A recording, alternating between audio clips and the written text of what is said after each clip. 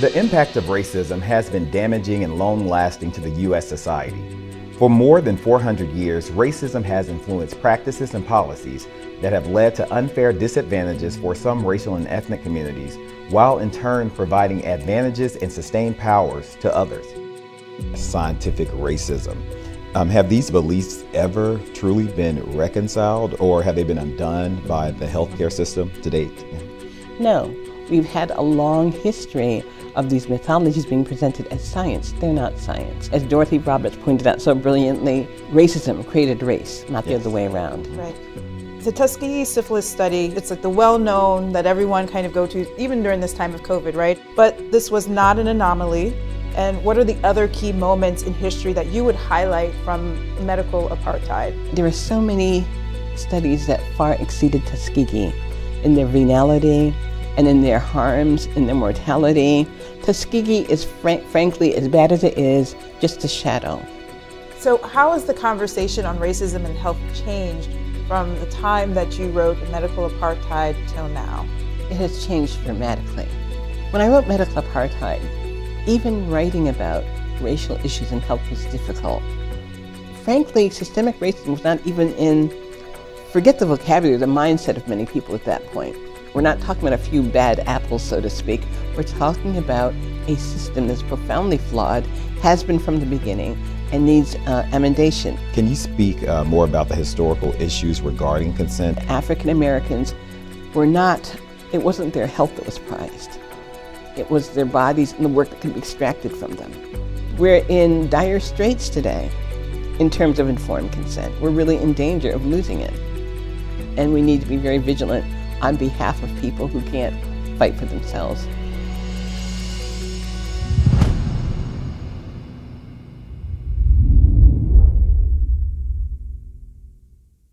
Hello, I'm Dr. Vabren Watts, Director of Health Equity at Health Affairs. And I'm Dr. Aletha Maybank, Chief Health Equity Officer for the American Medical Association and member of the Health Affairs Health Equity Advisory Committee. The impact of racism has been damaging and long lasting to the U.S. society.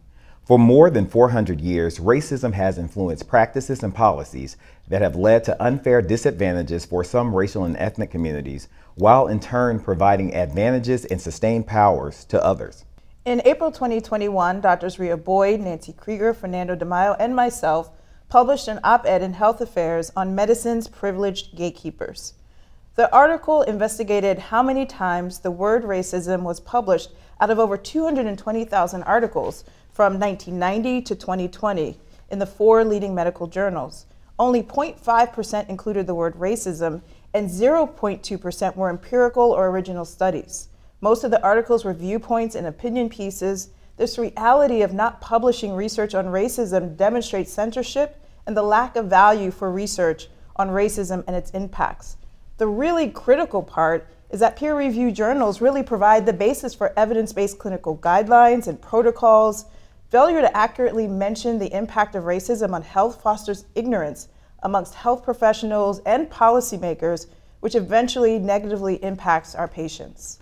So, in February 2022, Health Affairs focuses on racism in health. The issue features peer reviewed articles that define systemic and structural racism, explain how these forms of racism damage health, and propose how to dismantle racist systems and structures.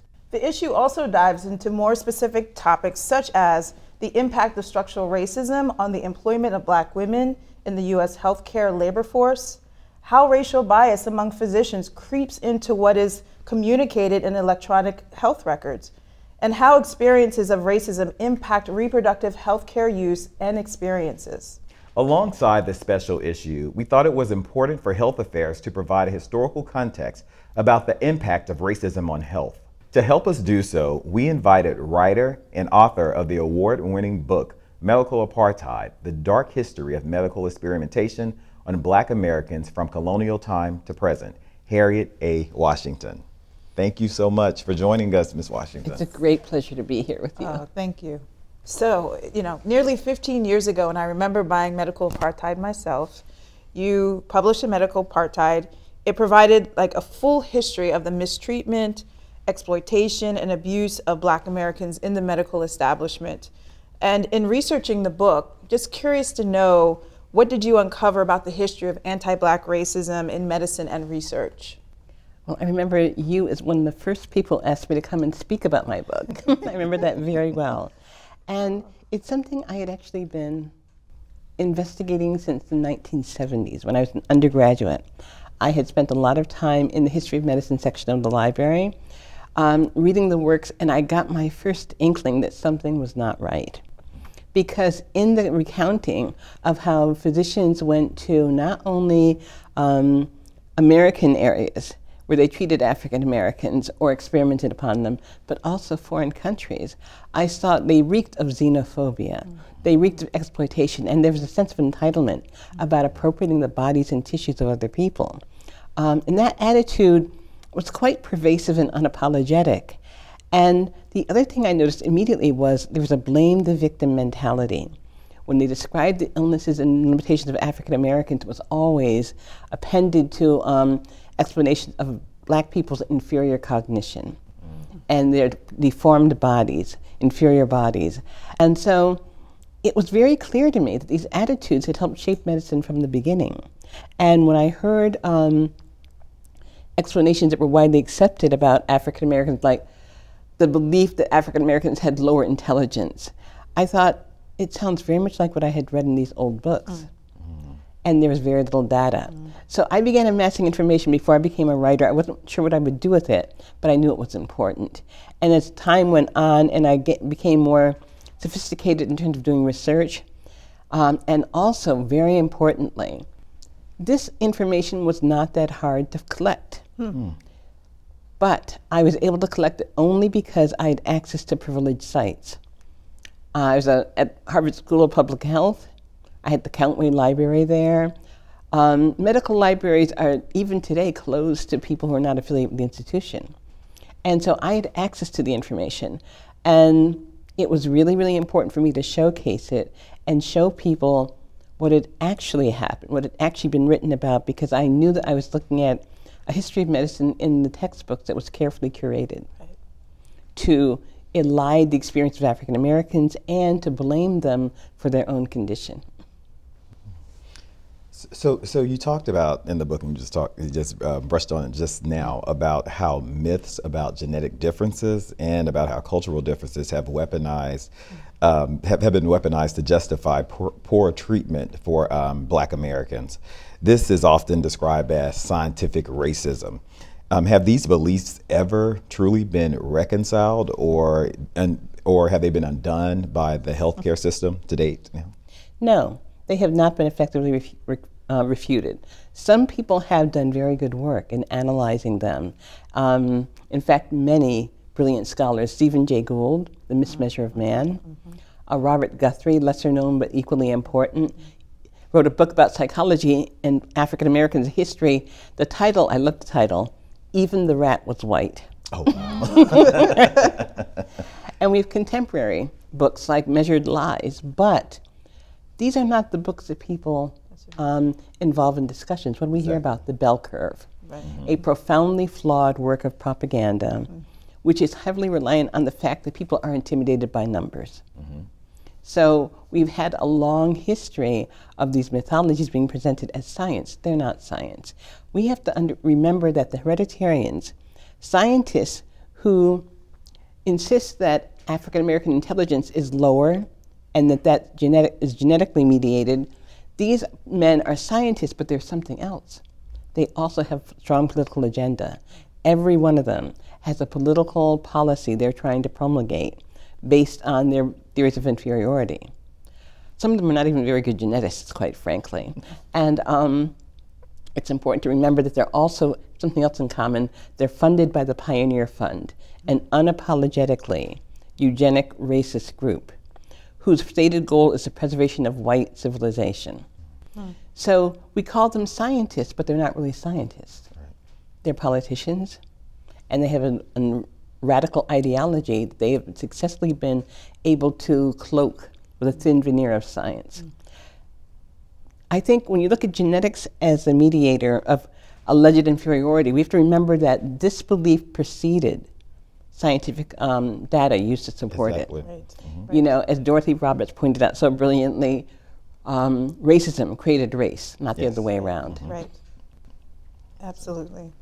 So, s- switching just a, a little bit, but all related, of course.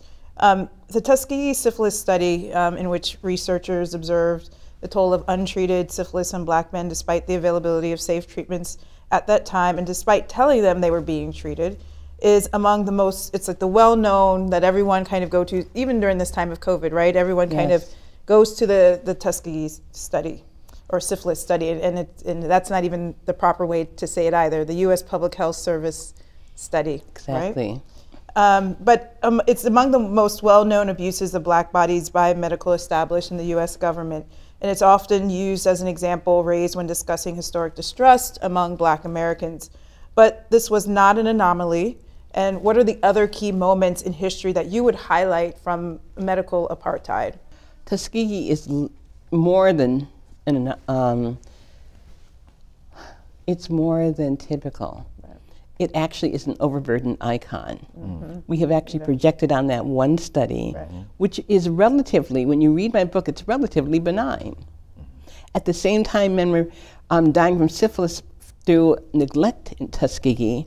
We had black men and black women being killed outright by being infected with um, malaria, falciparum malaria, the most deadly type. Um, but there are so many studies that far exceeded Tuskegee in their venality and in their harms, in their mortality. Tuskegee is, fran- frankly, as bad as it is, just a shadow. Um, I could point to the use of surgical technology, often practiced on African American, when whites would benefit from it. Eugenic research into re- reproduction, using um, reproductive science to commit, frankly, genocide. It does conform to the UN definition of genocide, reducing births within a group. And so um, you also had the appropriation of African American bodies in a wide number of venues. Everything from, we know about Henrietta Lacks cells being taken. I'm very happy that her, her name is now on a household world. that was unknown when I wrote the book. But um, it's common. What happened to Henrietta Lacks happened during colonial times when doctors would take body parts from black people, everything from teeth to organs, and either experiment on them or transplant them elsewhere. Um, but they actually dug up African American bodies, cadavers from graveyards, used them for anatomical dissection. Preferentially, they didn't want to use white bodies, they used black bodies. And so that sense of entitlement persists today. You also had wielding of genetics in order to um, try to have a very, um, how can I put it, a very fragile, tenuous um, base for African Americans. So we had so many of these um, consistent policies that justified taking African American bodies, harming them, or even killing them, and then blaming them up for their own diseases, for their own condition. We also had outrageous uh, abuses of data. One of the things in my book that really surprised me was how illogical a lot of the research conducted. The since 1840, the census by the U.S. Uh, government found that African Americans who were free were 11 times more likely than African Americans who were enslaved to be mentally ill. Oh, wow. And their conclusion was, oh, freedom is dangerous to black people. You know, black people will lose their minds when they have to fend. They need enslavement. They need white people to care for them. That might not sound like a bloody um, scandal, but the reality is that belief was very persistent and it harmed many African American people. Harms them still today, the mentality that we aren't able to care for ourselves. So there's so much. Tuskegee fades, you know, into the background, frankly. I Can, just, and also just building on that, because, you know, I'm now at the American Medical Association and J. Marion Sims, you know, I think you Yeah. Mm-hmm. elevated that history to many people. Um, and he was a former president of the American Medical Yes. Association. Mm-hmm. And that history of, you know, tied to reproductive justice, but also to support capitalism, mm-hmm. right? And, and, it, and it's really was the preservation of, as one of my friends says, Dr. Joia Crear-Perry, um, how the, the black woman's womb was really kind of the engine of capitalism. And so it was, it was a need and a desire for somebody like a surgeon or a OBGYN to find an innovation that would preserve the womb in order to have reproduction happen. And so I think you know that's how that's how I kind of think about mm-hmm. the context of J. Marion Sims. But can you just speak to that because you and I were there together when his statue was removed um, in Central Park. Yes. A few years ago. A beautiful day, wasn't it? Mm-hmm. yes. Um, several things are going on here. Dr. Sims abused black men and children as well, as I write mm-hmm. in my mm-hmm. book. Mm-hmm. So he didn't only focus on women. Mm-hmm. But you're right. In my view, the reproductive, um, the fertility of black women is another form of work. And it highlights something really important that I state early in the book, and that was that we think of health and medicine as benefiting the patient, of the physician patient dyad, a beautiful relationship. It had nothing to do with African Americans and their doctors. Mm-hmm. It was not preserving um, their health, but preserving their ability to work that was important. Mm-hmm. And reproductive work was a kind of work. Thomas Jefferson said, I consider a woman who gives, uh, a slave woman who gives birth every two years as profitably as a best worker on the farm. Mm. Wow. So this work was really important, and it was um, appropriated without any regard to ethics or even the touted Victorian adoration of the woman didn't apply to black women. Um, so that changed abruptly with freedom when suddenly uh, black women's alleged hyperfertility was no longer a commercial advantage for the owner, but a liability. Right. So at that point, black women, instead of being lauded for having many children and having them often, whether they wanted to or not, suddenly they're being blamed and castigated for the same thing. Mm-hmm. You know, so um, it's really important to see how the engine of medical theories and medical mythologies has driven driven policies that affect people politically and affect their lives, out, even outside medicine. Absolutely. You know, one of the um, thing, themes um, throughout your book and, and your work today is about um, informed consent or, you know, lack of consent. Um, can you speak uh, more about the historical issues regarding consent and how that, that may pers- um, uh, persist to this day? Oh, happily, yes. My latest book, Carte Blanche, mm-hmm. is about informed consent and how it is quickly fading from the American medical landscape with insufficient attention, in my opinion. But you can see evidence for this among African Americans from the advent to the, this country because there was no informed consent in the 17th century. Nobody had that. Right. But you did have simple consent where you had to get a yes or no. If you wanted to do an operation, if you wanted to use him for experimental purposes, you had to ask the permission of a white man. Um, but with an African American, nobody asked your permission. Only permission that was needed was the permission of the owner. And if you did something to an African American without permission and the African American were killed or harmed, guess who was compensated? The owner. Um, it harkens back to this idea that African Americans were not it wasn't their health that was prized. It was their bodies and the work that could be extracted from them. And so their lack of consent was not was you know was nothing. It was a non-entity. They had no legal protection. They were legally invisible, and no recourse if they were forced into experimentation and killed or harmed. So fast forward after alleged emancipation, right, which we know is only in name only in many places. So you would think that at that point doctors would begin seeing African Americans as worthy of the same consent. No. The same mentality persisted. In fact, in the North and after emancipation, black people who were fortunate enough to find a place in the hospital when they needed care, not at all guaranteed, they were forced to go to charity wards. And these were rat infested, filthy places. And they also were forced to undergo research as payment for being treated in the charity ward. So there still was no consent. And today, when we, you know, we boast of this matrix of protection, the Code of Federal Regulation ensures that every person uh, has a right to informed consent, having a doctor explain in great detail everything that they need to know to make a good decision. And that's on paper. But it's been chipped away at consistently. For African Americans, it was always chimerical, just blatantly ignored many times. But in 1990s, we actually began passing laws saying that if you're a trauma victim, no one, you can do research without getting the person's permission. Mm. Not just informed consent, you can bypass consent at all. And we have tested artificial blood using that. I went, I did a, I did a story, which Harper's professed to like, but then refused to publish, where I looked at artificial blood. Where is it being tested without getting people's permission? There are, most of these cities had more black people than white people. And even cities that were not, like LA, we, they found that the neighborhoods that were used were black and Hispanic neighborhoods. So African Americans are bearing the brunt of the evasion of informed consent. And my big fear is that I wrote this book because my fear is that one day we're going to wake up and find that it's gone. Mm-hmm. It's happening insidiously without much fanfare. When doctors talk about it among themselves, these coded words like EFIC, exception from informed consent, right? A layperson has no idea what that is, Correct. which is why they use the terminology. Mm-hmm. So we're in dire straits today in terms of informed consent. We're really in danger of losing it.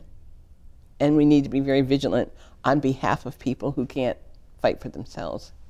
Um, in, a, in an earlier uh, conversation, you, you did talk about, you know, that um, that means to look to institutions to actually restore or build trust among the um, black American population. Are there any um, situations in where black people are being blamed for this medical mistrust? Yes, the very focus on mistrust in the African American community implies that there's something pathological about the way African Americans are thinking or behaving. And unfortunately, it takes the um, focus away from the real issue, which is the system. We have a healthcare system which is repeatedly and consistently shown it can't be trusted, it's not trustworthy. And so, in order to regain trust, or regain is a wrong verb because it never gained in the first place, but mm-hmm. in order to instill trust, be trustworthy, we need to redouble our efforts and focus on crafting a healthcare system that is devoid of the errors and biases and the um, basically the abuses of the past and present. And if we do that, I think we'll find that people will flock to it and will no longer have to address any question of mistrust. Absolutely. And I would imagine, you know, during this time of COVID, there are examples um, in which, you know, black folks and probably other folks of color have experienced, but especially black men, um, in walking into institutions and trying to walk into institutions and having experiences. Have you heard of any of those? Exactly. Um, I'm thinking in particular of black men who have both been ejected from banks and stores by security guards and police who say they look like criminals wearing their mask, and barred entry or accosted by police for not wearing a mask. In New York City, on the same day, you had police officers smilingly handing out masks to white people who didn't have one, while they um, harassed and threatened with arrest African Americans who were not wearing a mask. Mm-hmm. And so um, this blame the victim mentality is so pervasive, but that's only one example of it. Other examples include things like even healthcare professionals you know, exhorting African Americans to um, observe so social distancing. Well, the Surgeon General said that, but he must have known that a good 40% of the people who are essential workers can't practice social distancing. They can't avoid riding or driving the subway. They can't avoid contact with the public in their jobs in restaurants or cleaning hospitals, you know? So exhorting them to um, behave in a way that you know they can't behave is abusive. Also, you know, mass transit, another good example. If you live in a crowded tenement in New York City, you cannot social distance. You can't avoid sharing the hallways and elevators. And yet, I remember seeing a legislator in New York City writing, um, writing potential policy saying that um, risks are partly dictated by where people choose to live. I wrote back, Nobody chooses to live in a tenement in Harlem. Correct. You know, people are forced there by policies like redlining and um, other types of mortgage exclusion.